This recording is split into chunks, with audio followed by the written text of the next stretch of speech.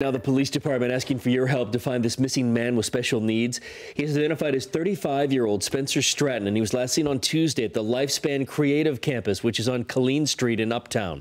Mr. Stratton has been diagnosed with autism and is nonverbal. He is under the care of social services, and detectives believe he may be with an unauthorized friend or maybe even a family member. If you happen to know where he is, give 911 a call immediately.